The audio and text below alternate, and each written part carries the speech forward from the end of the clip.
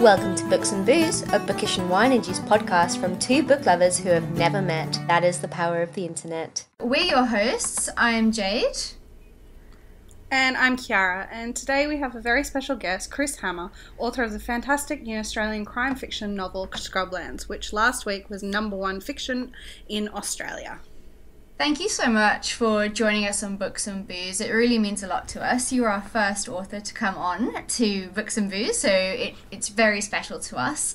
And as tradition, we love to pair our episodes and the books that we read with wine. So, what epi- what book did you choose to pair your book Scrublands with? You mean what wine did I choose to pair it with? Yes. Yeah, sorry, you said which book do I want to pair it with? I thought I'd just stick Sorry, with I meant Scrublands wine, if that's sorry. all right. I have a wine here. Um, it's called Sticks. It's a Yarra Valley Chardonnay, and I chose it because it had a picture of dry sticks on it because I was under the impression we were doing a video. Um, I've got no. what I really should have got is a really dry wine. I've got no idea whether it's dry or not, but I might just have a taste and see how it goes. Okay, you want- yes. I'm actually amazed at how Yeah, that's Yeah. great. so many wines in Australia are actually screw tops and not corked. Can you hear that? Um, Australia invented the screw top. Oh, really? The Australian wine industry. I had yeah. no idea. And it had a great deal of Yeah. resistance from the Europeans to start with. yeah. You guys teach me something every day. what? Oh, that's a bad face from Chris. Is it not good? It's a taste of white nectarine, poached pear, almond milled, textural winemaking. There you go. okay. Uh, it's it's Oh. not bad. It'd be bit better chilled, I suspect. Oh yes. Yeah, Yeah. Maybe get some ice in it. Not sure the winemakers would approve of that either. I'm from South Africa. like anything goes. so, Chiara, what are you drinking? You. Uh, well, I I was actually in hospital over the weekend, so I am strictly on the waters um, because I'm on some strong antibiotics. But water is good as well for scrublands because Martin does drink a lot of water in the book. Yes, he keeps lots of water. Very, very hot. in He- his boot of his car. He drinks bottled water because the water in the town is almost undrinkable, which can happen in Yeah. a drought. It has been said that Adelaide is one of the only two major cities in the world where ships refuse to take on water. Because by the time Oh, it gets wow. to the end of the Murray River, particularly in a time of drought, it is almost undrinkable as it's got to have so much chemicals in it to kill all the bugs. Jeez. Yikes. Let's not dwell on Thank that. you. Well, no. Yeah, Nope. it sounds very much like where I'm from in South Africa. They're going through huge water crises at the moment. Uh, yeah, I think the water was supposed to get cut off uh, in April or something. Is that like Cape Town? Yeah, Yeah. yeah. So, but tonight, uh, not getting onto depressing topics about uh, um, water shortages, um, I am drinking the McWilliams 2017 Shiraz off the press, which I can show you guys on camera. It looks very cool, and it like the label's really nice because it's got like a journalist like newspaper print on the front, which I thought was very apt for this episode because our main character Martin is a journalist so I like that. And also, it's it's very dry. Like a Shiraz is known to be dry, so I thought it paired very well with the book. And it's just a very aromatic and spicy and flavoursome wine, and it's super affordable. It's like twelve dollars. So Very good. yes. so um. Chris, we um, would you would you mind telling us a little bit like the premise of Scrublands, just so the the listeners can get a feel for your book? Absolutely. So here's the setup.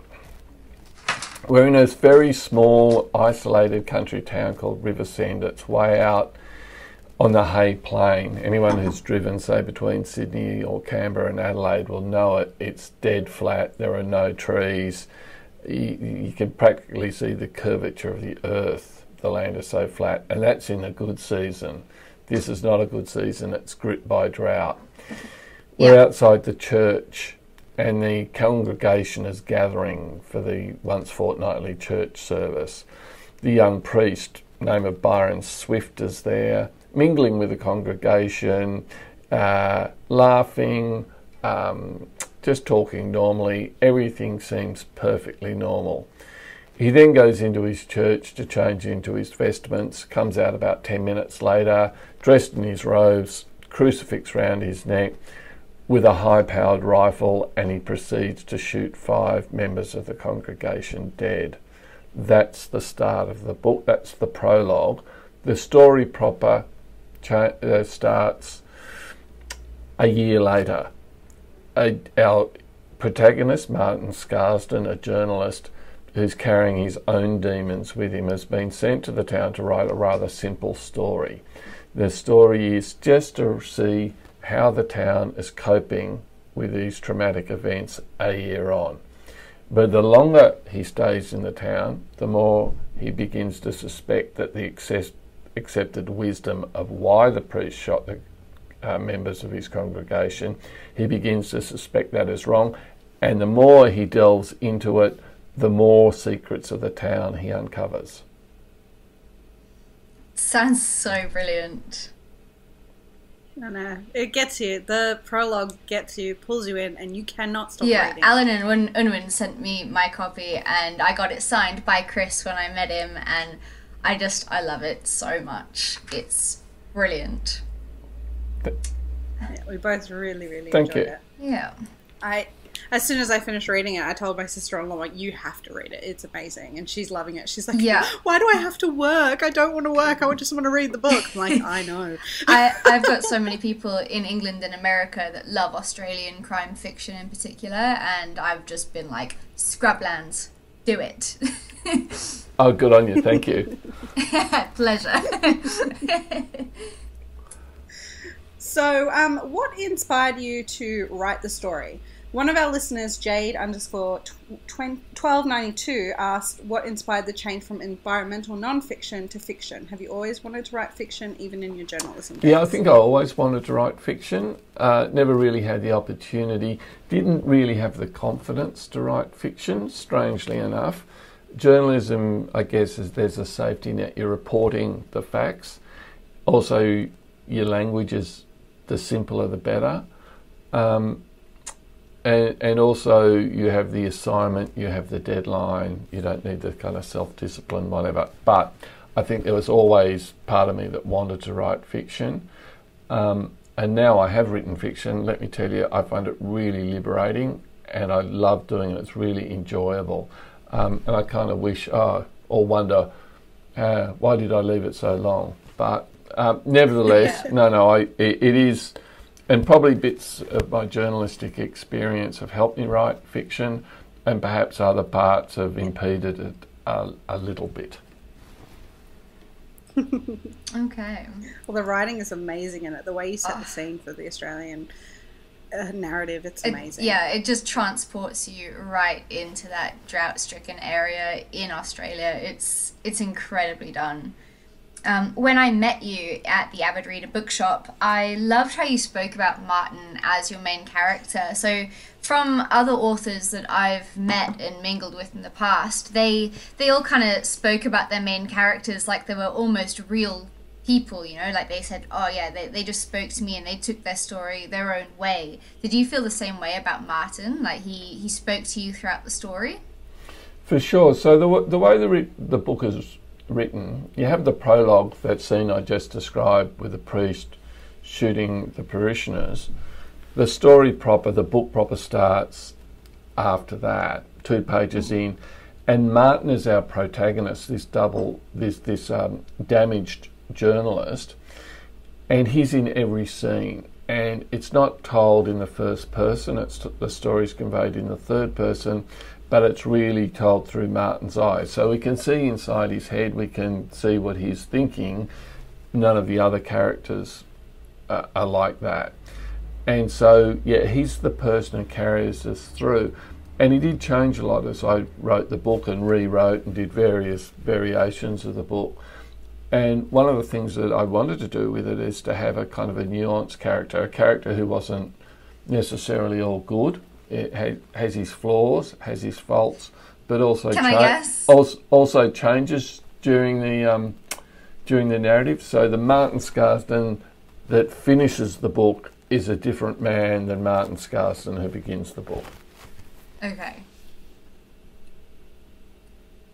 Yeah, no, he's he's such a charismatic guy. You know, he's so flawed, and he's got like a lot of self confidence issues, I think, as well.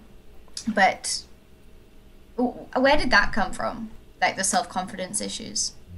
Well, I didn't want him to be like a perfect detective. You know, that's a, you know, the old sort of Miss Marple, you know, always astute, always right, always morally pure. Okay, so I wanted him more damaged. I wanted him to have some emotional baggage. But I also wanted him to just like get things wrong. So you often mm. get maybe a protagonist, a hero, who may be damaged or flawed, but they tend to still get things right most of the time. Martin not only gets things wrong, at times he gets them spectacularly wrong, uh, which which has consequences because he reports some of the things that he gets wrong in the newspaper and then has to suffer the consequences of that. So that's the idea I started with. You know, someone. It's not just the reader who might jump to the wrong conclusion, which often happens in crime books, but the actual people in the crime books are jumping to the wrong conclusions too.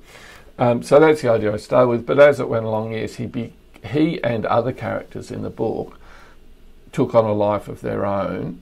And so you might have some plot points set out. Oh, this happens, this happens, this happens. But when you actually get to write it out in full, you go, no, that can't happen because that character wouldn't do that.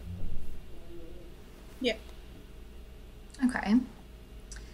Um, so I remember you saying that your your book differs from others in your genre. When I saw you at the Avid Reader bookshop, you said you know there wasn't the it, it wasn't just like okay that's the bad guy and that's the story. Like, so how how do you think that your book differs in its genre? Well, um, I'm not sure that that's right. I think there are books where there's kind of good guys, bad guys, kind of cardboard cutout characters, if you like, and the and the books are very plot driven. There's nothing wrong with that. That's one way of writing, and one and there are some readers who really like that, just a purely plot driven book. I wanted mm-hmm. more nuance in the characters, so many of the characters, not just Martin, but other characters in the book, aren't necessarily goodies or baddies. They've got good elements to them, they've got bad elements to it to them. And I just think that for me, if I was reading, that's something that I would enjoy. So when writing the book, yeah. the kind of the test was one of the tests was would I enjoy reading this book? Yeah. Yeah. Well, they're human.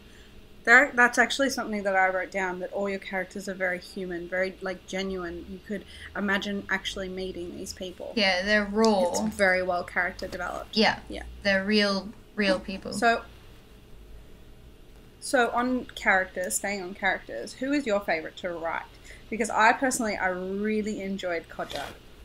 I bet you he was a blast to write. Yeah, a lot of people like Codger actually, who's this old man who lives out in, in the in the scrublands, as it happens. But most of them actually I quite like writing. Some some of course are a little bit confronting and disturbing, but no, I, I yeah, I'm not sure I've got a particular favourite. It is interesting though, as yep. I've gone around and talked to people. Quite a lot of people like Codger, but then there's other a bookseller I ran into today liked one of the policemen, and I know my wife liked another of the policemen, and yeah, um, and it's interesting the um, the crossover of the readers, the gender of the reader doesn't seem to matter. Like some some people yep. like say um, Mandalay Blonde, who's who's the, probably the. I the, love her. Yeah, so so some people like her. It's, so it's a it's I, which I find, of course, is quite a compliment that people like different characters. Yeah. yeah. Well, it just proves that they're also well. Yeah, that Mandalay Blonde is the lady that has a little boy, and she works in a bookshop. Her dad is supposedly a rapist, and she's just got such an amazing backstory. And I think that she's a really strong character like, from from the beginning of the book. One one of the characters that people typically probably don't like, but because he remains a kind of mystery pretty much to the end, is the priest himself. So he's committed. This Oh, book isn't a who done it; it's a kind of why done it because you're right. You know, right from the word go, yeah. that the priest has shot um, five people dead, and, and you learn fairly quickly in the story that he himself was then shot dead by the local policeman. So he's gone, but there's witnesses, so everyone knows that he's killed the people. And the question is why he did. And what Martin Yeah. finds is in the town there are people who are still, despite this horrific act of murder, there are still people who remember him fondly and more or less defend him. And so one of the questions is there for the reader is is this guy a bad guy or is this guy a good guy or is he some sort of weird mix of the two? And that's, I I think, part of the appeal, at least for some readers of the book, is going to be is going to be pondering what was driving the priest. Yeah, It's it's definitely a good one. Yes. Um, so, if you could describe Scrublands in three adjectives, what would you choose and why? Adjectives. Oh, don't know. Can I use nouns? um, Yeah. death, uh, despair, redemption. That's perfect. Okay. And what about yourself? If you had to describe yourself in three adjectives, what would what would they be? yeah, I've got no idea. Rather happy at the moment, I must say, because the way the book is going. yeah. Uh, We've been we've been Oh, seeing like you on a- social media. Yeah, it's like a dream come true. Seriously, I think Cheers to that. you know it's like every writer's dream to write a book that is being, you know, so well received. Um, so right now, yeah, Everyone everyone is embracing it. yeah isn't so it? three words at the moment are probably happy, happy, and happy. Oh, that's great. well, just to keep like the the giggling flowing, I think uh, Chiara's got a pretty funny question that she wants to ask you. uh oh. So this one, this one came from my husband. He's a bit cheeky, um, um, and so I, I messaged him, and he was asking me what I was doing, and I said, "Oh, I'm working on the uh, questions for Chris Hammer." So he said he has one for you. So he said, "To pump yourself up when you're writing, do you ever listen to Stop Hammer Time to set the mood?" No, no. There- There's a lot of hammer-related music, though, if you start to think about it. But no, I do. I do often listen to music while I'm writing. I'm not. One of the benefits of being a, a, a journalist for so many years, I'm not easily distracted. So you get writers who, who absolutely need quiet and some classical music and some incense and not big stuff. I can pretty much write anywhere. So on the Yeah. train or Yeah. um, you know, in a cafe or whatever. But yeah, sometimes music I find really helps. So, what Yeah. sort of What What do you listen to? I often just sort of pick up random internet radio stations, so Yeah. um, which probably indicates how um, how I don't get easily distracted. Yeah, because that could go either way. You could find some pearlers, and you could find some atrocious. Yeah, exactly, exactly. But I don't like not typically. Sometimes classical, but not typically. Usually just some sort of pop music, probably more acoustic than head banging. But you know, occasionally, who knows? Yeah. Okay. So for a debut novel, Scrublands is beautifully chunky. I'm holding my copy at the moment. Um, how long did it take for you to write it? Yeah, so it's about 125,000 words, which is often publishers like books around 80 or 90,000 words. So it is a bit longer maybe than the typical book. Um, although Allen and Unwin never wanted to cut back, I must say, and neither of the um, international publishers either. Um, it took, I started, I think, about five years ago, but to say it took me five years to write is probably somewhat misleading in that, you know, I had a full time demanding job, family responsibilities, etc. So it was a matter of getting it to it when I had a few bit of spare time. The other thing is there were major rewrites. Like I threw out the second half of the book twice, so there's probably it'd be well over a hundred thousand words that just sort of hit the bin, sort of thing. So I'm I'm really hoping that doesn't happen again with my next book, which I'm working on now. So, but yeah, I, I, I started about five years away, uh, five years ago. Okay. Okay. yeah, I think one of the things I love the most about it is that there's so for me because I'm not from Australia, it's got so much Aussie lingo in it that I found so fascinating. Like, so I'm not used to calling a ute a ute. To me, it's called a bucky in South Africa. A bucky, okay. and- A buggy? a bucky. A bucky. Um, and like just just the different words that people say, like grog for alcohol, and all sorts of things that you said in this book. Like I just like I found myself smiling so much at the Aussiness of it all. I just I loved it. But could you follow it? Yeah, yeah, I got it. I've got an Aussie boyfriend or an Aussie partner, so um, Oh. yep, he's he's been teaching me the lingo. So Okay, So so here's the inter- here's the interesting thing about that. So when I'm writing it, um, of course I had the ambition to get it published, but I always was thinking, you know, my experience with the non-fiction books was, yeah, I'll find a publisher, it, you know, with a bit of luck it'll be good enough, it'll get published. So I never had any idea that it would ever stand a chance of being published you know, say in the US or the UK. So in writing it, I made no compromises for a foreign audience.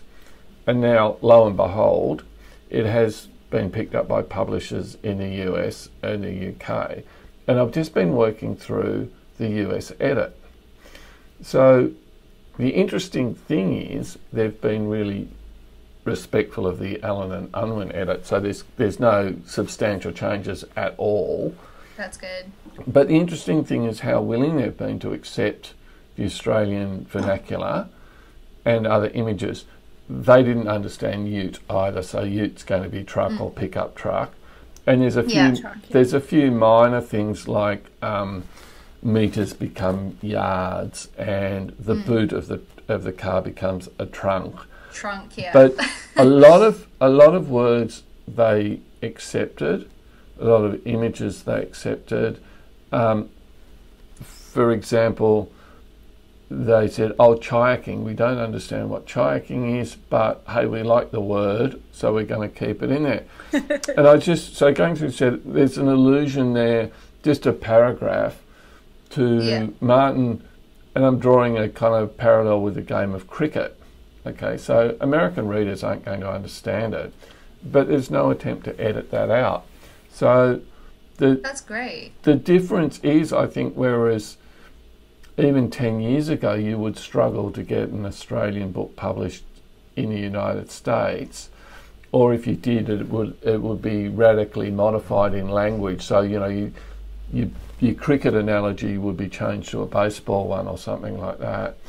I think there's been a real wind change in the United States where they're accepting of so Australian books, so books like Jane Harper's books and Sarah Bailey's and Candice Fox. So there's a whole bunch of books there that have been demonstrated can be popular in the US. So the publishers have are now understanding the readers will take that. I think it probably goes back a step further to maybe um, say Scandi Noir that that that, that Yeah. the American publishers learnt that that crime stories in particular set in foreign locations wasn't a disadvantage. If anything, it's a bit exotic or something like that. So it's been really interesting in doing this American edit, just how little they want to change.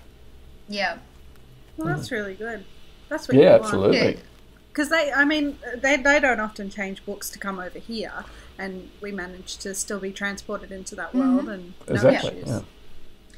And I feel that so uh, we've both read Jane Harper's book The Dry and we both loved it. And I um I said to Chiara that I feel like she is the Australian equivalent of um, Jo Nesbø's Scandi novel, um, you know, like The Snowman or something, you know, like his uh, Harry Hole series. I feel like Jane Harper is the Aussie equivalent.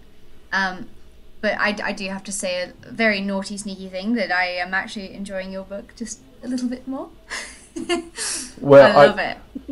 I think summary, you know, th- they're both set murder mysteries set in small towns during the drought. Yeah. But that's a little bit like saying a Scandi noir book has got snow in it.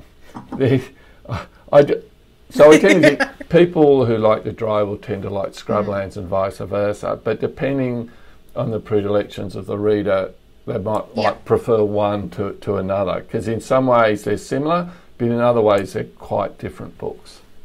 Yeah, I Yeah. feel like your I don't know what it is. Like I think your book just for me had different subplots that I really enjoyed. You know, they they had those quirky sideline characters that were wonderful to get to know. And I just I just really enjoyed all those little different elements of the book. There were so many little subplots that were just so fascinating and you wanted to uncover everything about the book and all the characters. Oh, thank you. Pleasure. Yeah, you can tell you put your heart and soul into it. It's a great thing to do. I really like. I like the process. I'm, I'm proud of the book, but I actually like just sitting down and writing it. Sometimes it can be such a joy.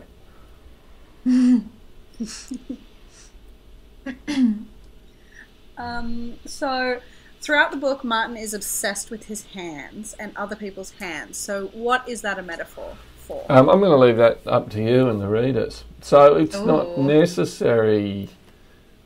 You know, it's not an integral part of the book, so you don't have to know or work it out. But there's some things there that are probably best left unsaid by me. Okay. okay. So I kind of found that very similar to I don't know if you guys have read um, Shantaram by is it Gregory David Roberts?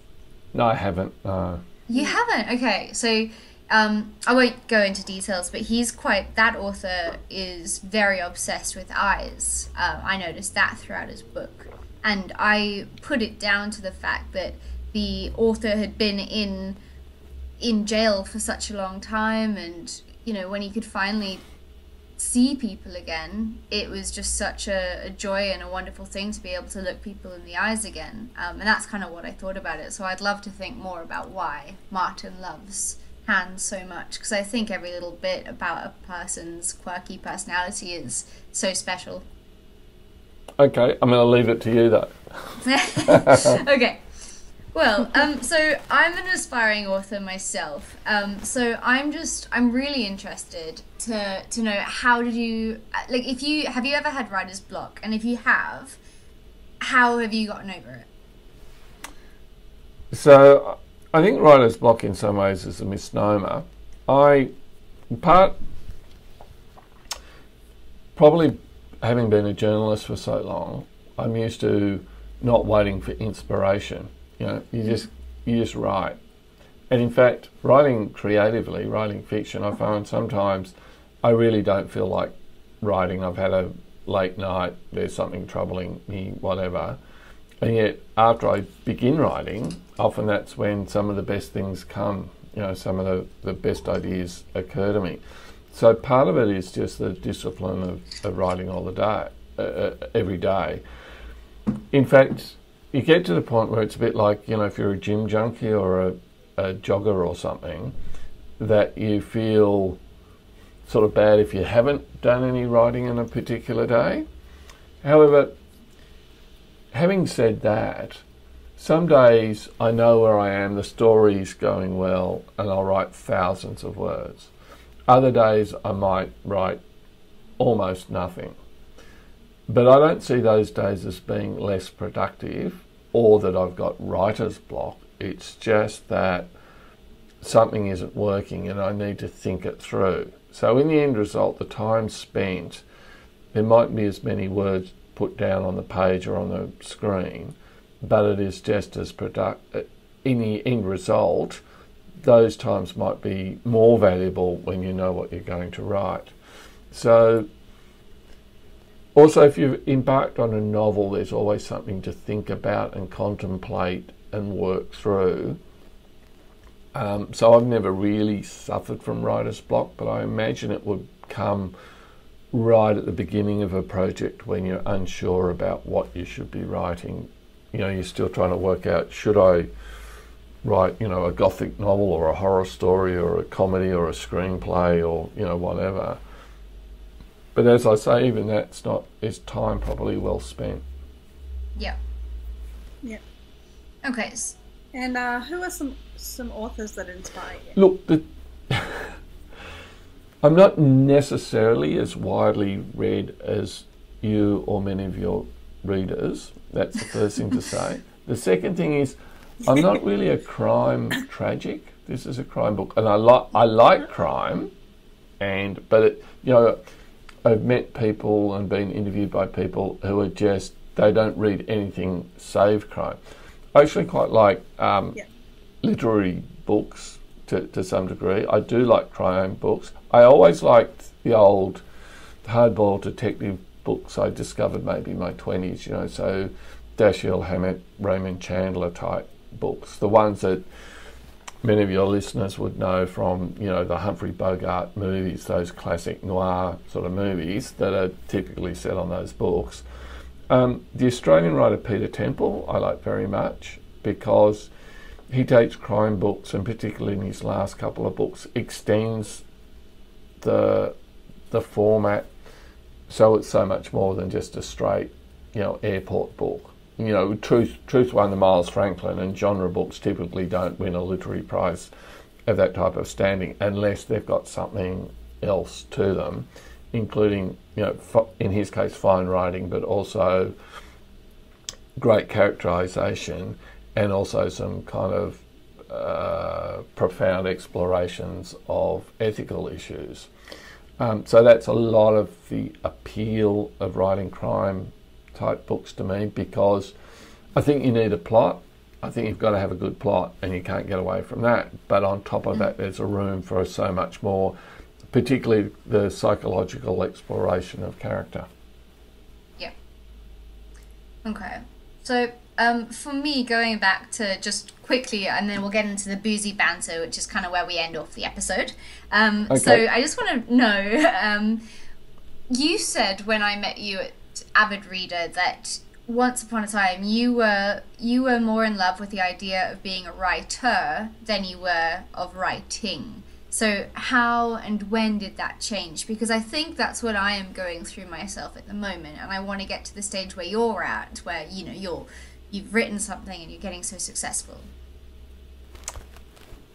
Yeah, I you know as a young person, um, you know at high school and then at uni, I did English and literature and whatever, and you know of course you read all the great writers and you and you admire the work so much and think, oh, wouldn't it be terrific to be like that? And probably, oh, wouldn't it be nice to be admired like you know, I admired them. Um, and somehow that washed out because the tr- the trouble with that is you don't think about the writing, you think about what you want the writing, where you want the writing to take you, you know, in, in your career or something. So to put that a, a different way, to bring it forward, I think it's a great mistake, say if you're writing genre fiction or commercial fiction, to think, I'm going to write a bestseller. Because what you do then is you, is you go, I'm going to write a bestseller. What's a bestseller? And you look at other writers and you try and emulate them, and you end Yeah. up being as like a, a po- a poor copy of that.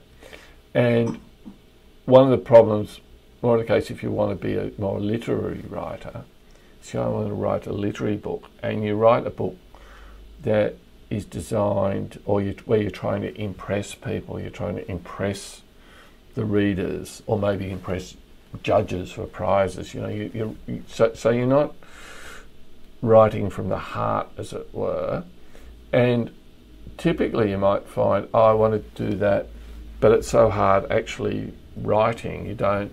Maybe you find you don't actually like the process of writing. And I think the way I worked through through that is I found that I just like writing. I like making up a good story. So that's what I'm so when I'm writing, or when I was writing Scrublands, I wasn't thinking of any kind of reception from publishers, for example. I wasn't thinking, oh, I'm going to write this sort of book because a publisher will like it and publish it, or an agent will accept it. I was just thinking, I'm just going to write a good book, a book that I wouldn't mind reading, if someone else gave it to me. I'm just going to work. And lo and behold, I found myself enjoying it. And then I was that. That's not to say that I you know I didn't have a reader in mind. In that, oh, would that make sense to a reader, or could I make that work better for a reader? Certainly, there was that element. But really, because I was concentrating on just doing it well, I found I enjoyed it more. Okay. Well, thank you, thank you for the advice. Because one one fine. I don't know. Does that I'll- make sense to you? Yes, no, it does. Uh, and Yeah, you wrote, wrote for yourself instead Yeah. writing for everyone else. that's what you need to do. You've got to believe in your own story and your own work. And you've got to just think, I'm going to try and write a good book, and you know, if it doesn't get published, you know, who cares? And Yeah. You know, At, yeah.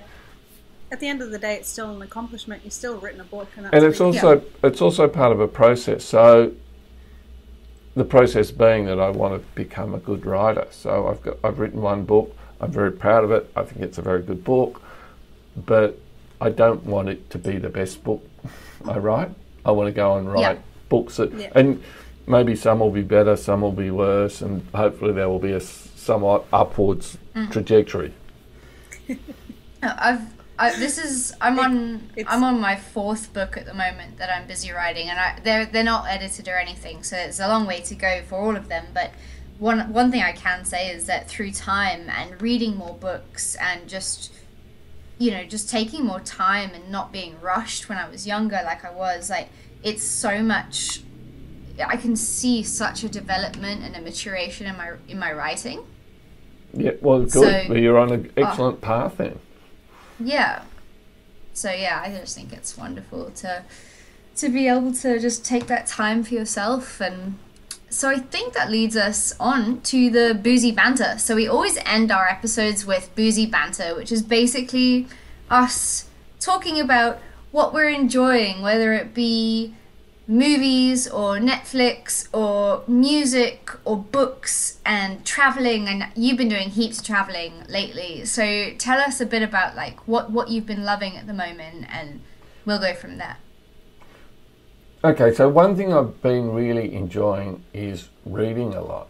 So I had this idea when I was writing. Well, first, I didn't have hardly any spare time, and so writing was basically taking the time that I might have spent reading. But on top of that, I was a bit worried that I would lose my voice or I'd get infected by some other writer's voice. So I sort of stopped writing. In retrospect, I don't think that was true. I don't think it would have happened, but that's how it did happen.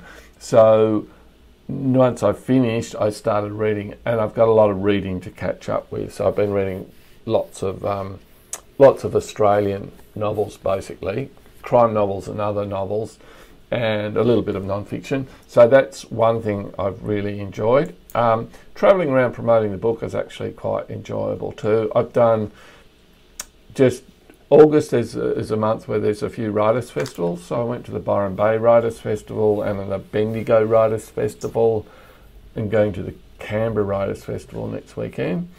That's where Um, you live, right? That's where I live. So um, that's really enjoyable, I, and just engaging and talking to other writers and um, and meeting meeting writers, including some who are really at the top of their game. So at Byron Bay, I was lucky enough to meet uh, Michael Robotham and uh, Ann Cleeves, who's the author of you know the Vera books and the Shetland books. So you know these are major international crime writers.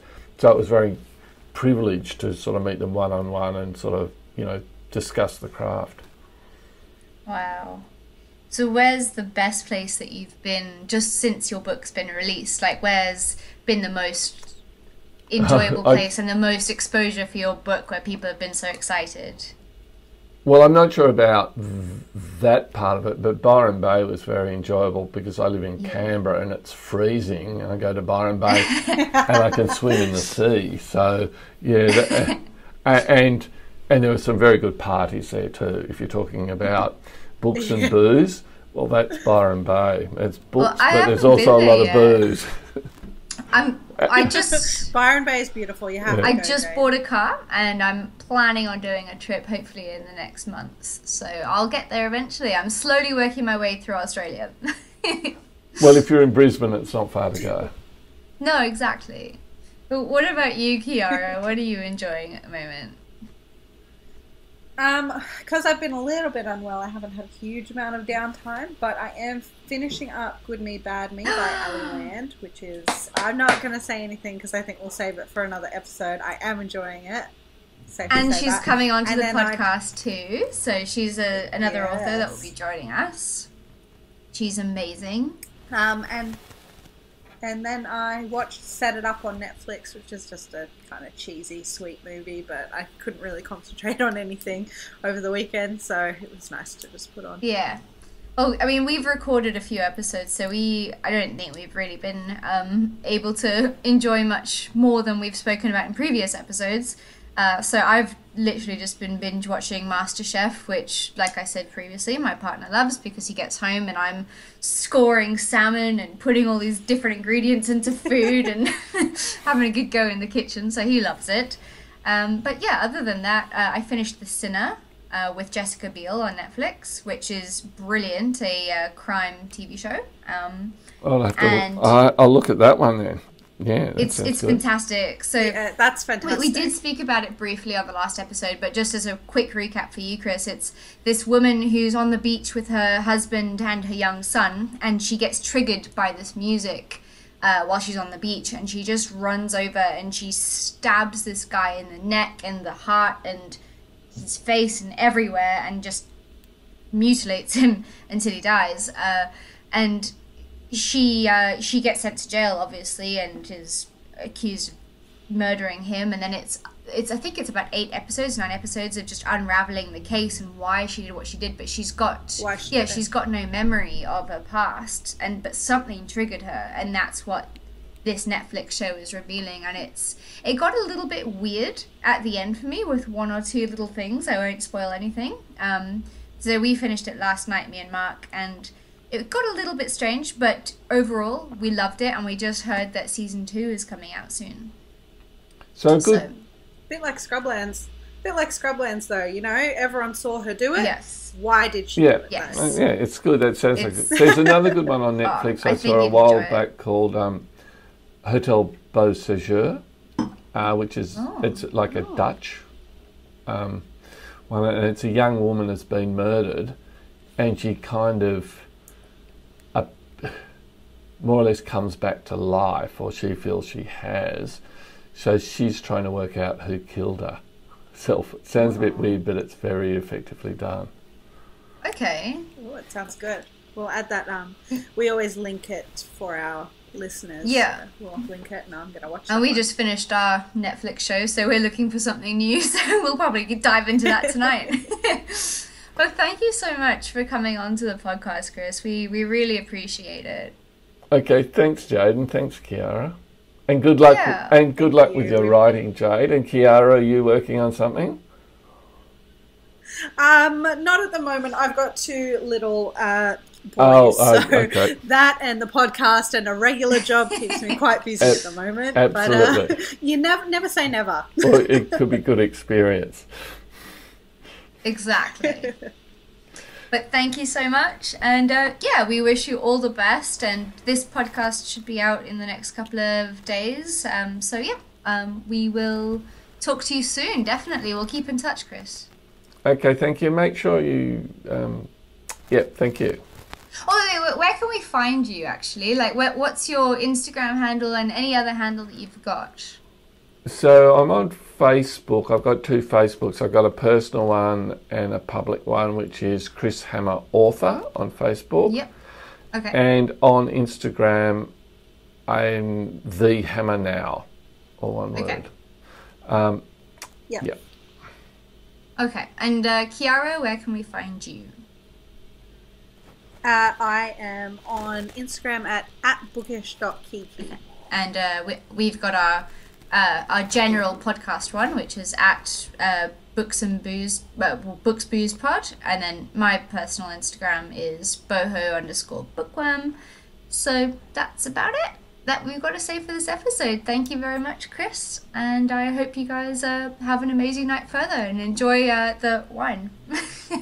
Okay, thank you. Bye. Bye. Thank you. Bye.